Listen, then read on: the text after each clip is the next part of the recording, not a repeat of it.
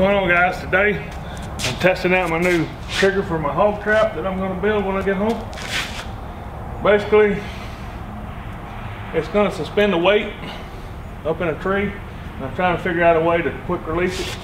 So I think what we're going to do is use this deer feeder battery right here. Going to run a hot wire over to the rope. I've run some wire through the rope. Come over to this switch basically it's just a clothespin. I pull that out, connection's made, release the circuit, and burns the rope in two. Anyway, I'm gonna test it out and see if it's gonna work. Uh, I think it will though. Let me get up here where y'all can see what's going on with it.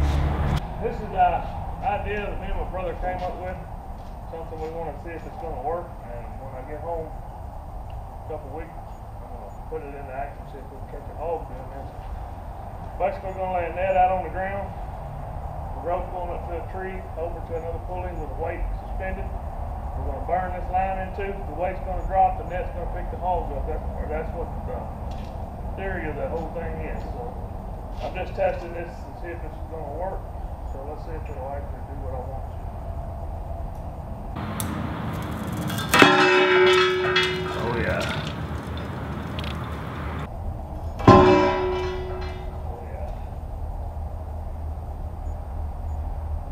Okay. I guess that's going to work. And that's only on a 6 volt deer feeder battery. I'll probably have this hooked up to a car battery.